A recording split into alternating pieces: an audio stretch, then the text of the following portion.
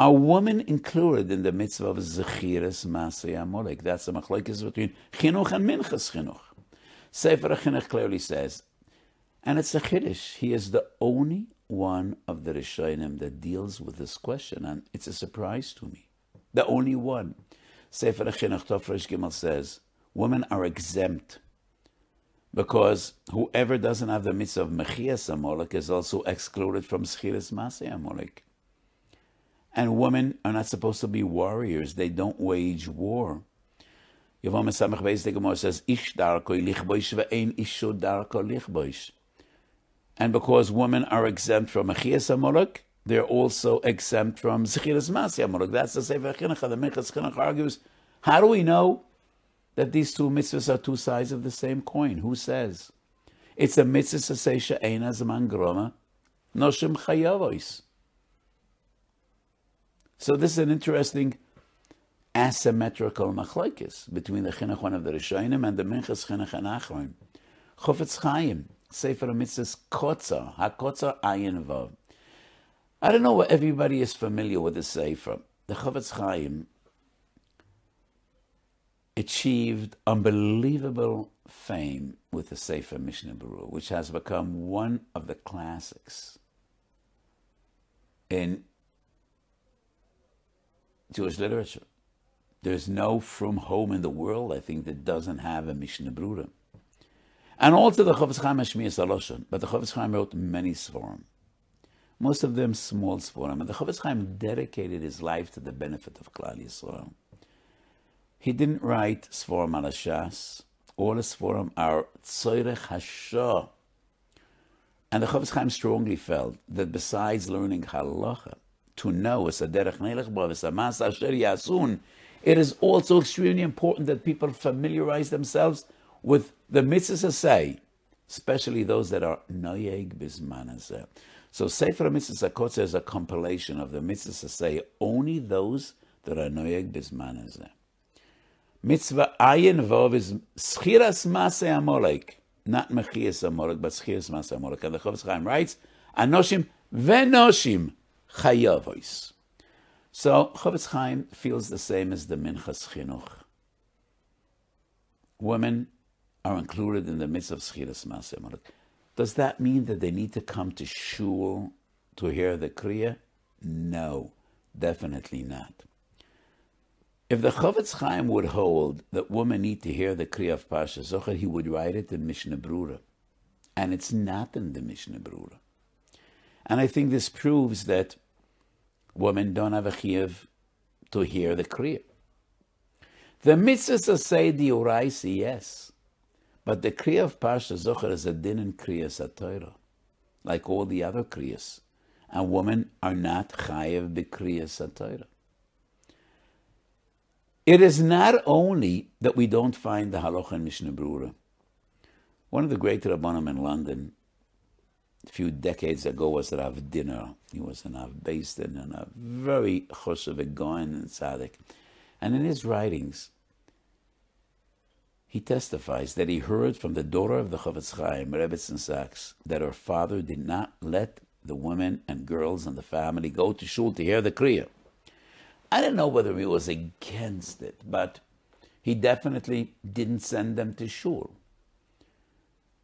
So the Chofetz Chaim clearly maintain women are not chayiv to hear the kriya of Parsha Zachor. It's a din and kriya Torah. Yes, ikroy min Torah. So when we hear the kriya, we're mekayim the mitzvah diuraisa. But it's not a chiyav anoshim, only an anoshim. And there are different opinions regarding this question. Sharas Shuvas Binyan Sien, the Orach Laneh, was one of the great Gedonim in Germany, Rabbi Yankov Ettlinger, who was the Rav of Altona. Chelik Beis Simachesi writes, Shomati memori v'rabi Rabbi Avrom Bing, שהיה Talmid של Nosan Adler. And Rab Nosan Adler sent all the women in the family, even the maid, Hamishareses, to Shul to hear the Kli of Parsha Zachor. וכך Ani Noyeg Acharov. And when I inquired a bit, I think that in Kirot Ashkenaz in Germany, the minig was that women went to shul to hear Parsha Zachor. But I think that was a minig only in Germany, nowhere else. So, I quoted the Orach Laner, Reb Nosson Adler. The Chassam Sofer had this minig. It's not in Shuvas Chassam Sofer, so it's not a psak. But on Chele Gimel Droshes, Chassam Sofer, the Chassam Sofer writes that his minig is that women go to shul to hear the parsha, and the Chassam Sofer was the greatest Talmud of Reb Nosson Adler. So obviously, this was Reb Nosson Adler's minig, and the Chassam Sofer following in his footsteps. Who else says that women are chayiv? Chuvas Maharil Diskin, Reb Shileb Diskin, and he was the God of Yerushalayim. And on Kuntasachan Simon Kuv Beis, he writes, Noshim are chayiv to hear Pasha Zachor. And I think it is from him in Yerushalayim, that's the minig, and women flock to shuls on Shabbos Zachor to hear the Kriya. Could we define that as minig Yerushalayim? I don't think so. I don't think so. I know that it's Reb did encourage his family, the women, to go to shul, but in Alicha Shloima, it is clear, quoted in his name, that Me'ikaradin women are not chayiv to hear the Kriya. In the Hasidic world, Minchas Elazar, the Munkat of Chelik Beis Siman Aleph, adamantly argues women need to go to hear the Kriya of Pasha Zachor. So what do we have? Binyan Sian, Reb Nosson Adler, Reb Shileb Diskin, and the Minchas Elazar. On the other hand, Shalosh Teshuvas Toras Chesed Simalamed Zayin, the Chesed, what is one of the greatest Gedolim in Poland, Reb Shneur Zalman from Lublin, and in his elderly years he came to Yerushalayim, and he was definitely Megedoli Yerushalayim, and he writes in his Sefer Toras Chesed, Me'olam lo ra'inu v'lo shamanu that women go to shul to, to shul to hear the Kriya of Zachor. So the Toras Chesed was in Yerushalayim the very same time, together with Reb Shileb Diskin. And he writes, Ma'olam lo ra'inu v'lo. I never heard of this. V'mashik v'safta b'shem godel echad. Shenosham chayavois. Maybe it's just hearsay. I don't believe it. And even if it's true, he's a Das Yochid. I assume he means Reb Nosson Adler. So yes, it is true, because the Binyan Siyam heard it from his Rebbe, and he was a Talmud of Reb Nosson Adler. But what is important is the psak of the Toras Chesed Noshim are not chayiv, and even more important, me'olam lo ra'inu, me'olam lo shamanu. Never. How about Sephardi Kehilas? Kaf HaChaim, nobody is more authoritative than the Kaf HaChaim with Minhoga Svarad. Kaf HaChaim, Tofresh Pehei, brings Lamudei Hashem, Rabbi Yehuda Najara, who was one of the great Sephardi Gedolim hundreds of years ago, and he says, Noshim are exempt. They do not have a chiyuv to hear Parshas Zachor. So the Toras Chesed, Kaf HaChaim, Lemudi Hashem, Chofetz Chaim, my great Rebbe, Divrei Yatzev, Simaresh Peches Shuvas Chaim says women do not have a chiyuv, and he proves it from the Divrei Chaim. That's a spark of genius. There's a tshuva in Divrei Chaim beginning with Ezras Noshim. What is the level of kedusha that an Ezras Noshim has? The women's section in shul, and the Divrei Chaim says definitely not the same kedusha as the men's section, because there are so many mitzvahs that the men do perform and women do not, like Kriyas Atoyin and Dalet Parashiyos. So the Divrei Chaim writes, Dalit Parshiyos, one of the Dalit Parshiyos is Pasha Zachor. So it is clear from the Divrei Chaim that women are not Chayiv in Pasha Zachor. That's the Divrei Yatzev, my great Rebbe, proving from the Divrei Chaim. Toras Chesed Divrei Yatzev, Chofetz Chaim, Kaf HaChaim, Lemudei Hashem. One of the great Talmidei Chachomim in Lakewood, Rav Forchheimer, he is the Moira in Lakewood. And he quotes in the name of Reb Moshe, he heard from Reb Moshe Feinstein that women are not chayiv in Parsha Zochim. Moran Reb Chaim, one of his amazing svarim, Reb Chaim Kanievsky, is Ta'ama Dikra. And at the end of the Sefer, he conveys many psukim that he heard from the Chazon Ish. And he clearly says, according to the Chazon Ish, women do not have to go to shul to hear Parsha Zochim. The Brisker Rov in Yerushalayim said, Till I came to Yerushalayim, I never in my life heard that women go to shul to hear Pasha Zachor. So in the Chassidish Welt, we have the Divrei Yatzev, based on the Divrei Chaim, the Litvish world. Who are the four first and foremost greatest Gedolim of the Litvish world in our time, in, in the past 100 years? Isn't it Chofetz Chaim, Chazon Ish, Briskerov, Reb Moshe Feinstein? And we quoted all four of them. Women do not have a chiyuv to hear the kriya of Parsha Zachor. So to me, it's a pele. Shalas Minchas he writes that Rav Poiskim, Paskin, that women need to hear Parsha Zachor. I don't think so. I don't think any Poiskim Paskin that women need to hear. How do you find, how do you define Poiskim? Usually when we talk about Poiskim, we mean Mogan Avram, Turei Zov, the Shach, naturally the Beis Yosef and the Ramah, early Poiskim. We no one says women are chayiv in Kriyas Parsha Zachor before the Oruch Lener. And even he quotes a minag of Reb Nosson Adler. We don't have a tshuva of Reb Nosson Adler. Minag chsam soifa. But very few poiskim say that women have a chiyuv. Reb Shilei Diskin, Minchas Elazar. There are many more poiskim that say women do not have a chiyuv. But my most powerful argument is anybody that doesn't say Noshim are mechuyev is as if he says they're not mechuyev. Because the pashtus is no. It's a kriya.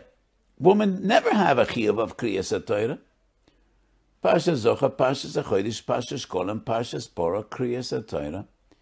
If any Poisik feels that Noshim are chayev, he should say so. Those that don't say anything, we assume they're potter. And they don't need to say Nosham are potter, because Nosham never have a chiyuv of Kriya So any great poisik that doesn't say chayiv is as if he said potter. And therefore, how could the Minchas Yitzchak say, most of the poiske maintain Nosham are chayiv? And I say, none of the poiske maintain Nosham are chayiv, and all of them say Nosham are potter. Because whoever doesn't say chayiv is the equivalent of saying potter. Some later achronim do say chayiv. But that's all. So my firm opinion is, and let's be clear about this, Noshim do not have a chiyuv to hear Pasha Zochem. And this minig was unheard of until our days. In Ashkenaz, yes. Yerushalayim, yes. But it's not minig Yerushalayim. It's not binding. The Teres Chesed was in Yerushalayim and he said there is no chiv. Reb Shema Zalman didn't feel there's a chiv. Why do I say all this? Because I am terrified about this upcoming Shabbos Zachor. Most women's sections in shuls are relatively small and if many women come, it will be extremely cramped. In my shul, the men's section is big, very high roof, well ventilated. Women's the windows on three sides. The Ezes Noshim is small, very low roof with no ventilation, and that is the case in most shuls.